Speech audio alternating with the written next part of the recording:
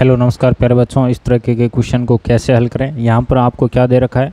बिंदुओं माइनस तीन, दस और छः माइनस आठ को जोड़ने वाले रेखाखंड।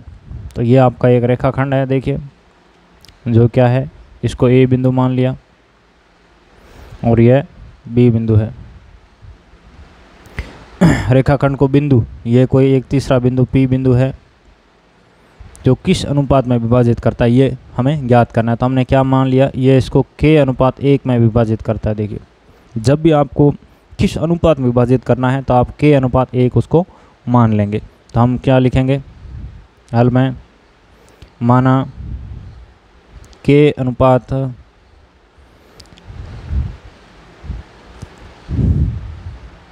पूरा लिखते बिंदुओं को, बिंदु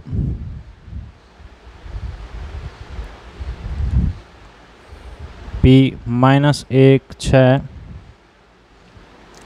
बिंदुओं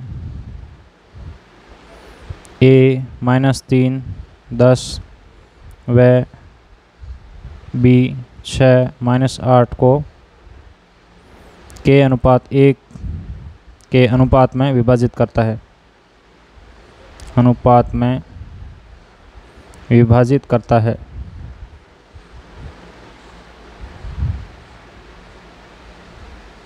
ठीक है?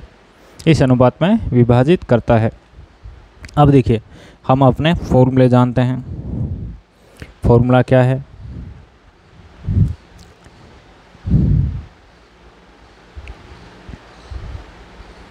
सूत्र से, यहाँ लिखेंगे सूत्र से। X बराबर क्या रहता है? M one X two M two X one बट्टे M one plus M two ये आपके फॉर्मूले रहते हैं तो एक्स का मान कितना है यहाँ पे? माइनस एक है देखिए। यह जो एक्स है ये किसका होता है? इस बिंदु का निर्देशांक होता है जो आपका अनुपात में विभाजित कर रहा है। अनुपात में कौन विभाजित कर रहा है? पी विभाजित कर रहा है। तो ये एक्स क्या है? पी का निर्देशांक ये ध्यान रखें। तो पहली स्थान पे किसका आ, कौन आता है? एक्स का निर्देशांक कितना है? माइनस एक। एम वन की जगह आपका k एक्स टू ये आपका एक्स वन वाई वन है, ये एक्स टू वाई टू है। एक्स टू कितना है? छः एम टू कितना है? एक। ये एम वन एम टू है। कितना है? एक। और एक्स वन का वैल्यू कितना है? माइनस का तीन। ठीक है, ये वैल्यू आपको अच्छे से रखनी आनी चाहिए। नीचे M one plus M two यानी के प्लस वन आगे हल करें। इसको यहाँ भेजेंगे तो इस माइनस ए के गुणा में आ जाएगा। यहाँ बट्टे में है तो इस तरफ़ किसमें आएगा? गुणा में आएगा। ये ध्यान रखें। तो माइनस के माइनस एक आ गया। ये कितना है?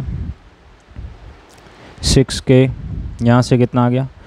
माइनस का तीन प्लस माइनस माइनस होता है। एक गुणा तीन तीन आ गया। ओके यहाँ तक कोई दिक्कत नहीं है। अब हम के को इस तरफ़ भेज देते हैं। ठीक है? तो ये के यहाँ माइनस का है। यहाँ सिक्स के को यहीं रखा। ये के माइनस का इस तरफ़ आकर प्लस का हो गया। सिक्स के को हमने यहीं रखा, ओके? इसी के साथ माइनस तीन को हमने यहाँ भेज दिया और माइनस एक को हमने यहीं रखा। जिसको यहीं रखेंगे उसको पहले यहाँ लिख देना। माइनस तीन यहाँ आएगा तो माइनस का है, इस तरफ़ आकर प्लस का हो जाएगा, ओके? यहाँ से आपके पास कितना आ गया? सात के बराबर माइनस एक प्लस तीन कितना आ गया? दो। यानी के बराबर कितना आ गया? दो बट्टे सात आ गया, ओके? अब देखिए, इसको हम क्या लिख सकते हैं? के बट्टे एक लिख सकते हैं। ठीक है तो हम के अनुपात एक करेंगे तो बराबर कितना आएगा? के बराबर कितना है? देखिए के बराबर ऊपर का ऊपर के सीध में आएगा, नीचे का नीचे के सीध में। ठीक है? तो आपका अंत है। दो अनुपात सात। ये क्या है? आपका उत्तर है। कैसे आया ये समझ गया। देखिए, ऊपर का ऊपर के सीध में, नीचे का नीचे के सीध में। ठीक है? एक बराबर कितना आ गया? सात। के बराबर कितना आ गया? दो। ये बस आपको समझ आना चाहिए।